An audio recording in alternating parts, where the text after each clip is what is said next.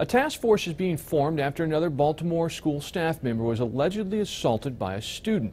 The district did not give details on the assault or the position the employee held at the National Academy Foundation, but say they are praying for her during her recovery and that district police are investigating. Earlier this month, cell phone video showed a 17-year-old student punching a teacher at Frederick Douglass High. No word on how the student was punished. The Baltimore Teachers Union is creating the School Safety Task Force, which will meet on December 14th to examine Baltimore City Public Schools Code of Conduct in order to improve it.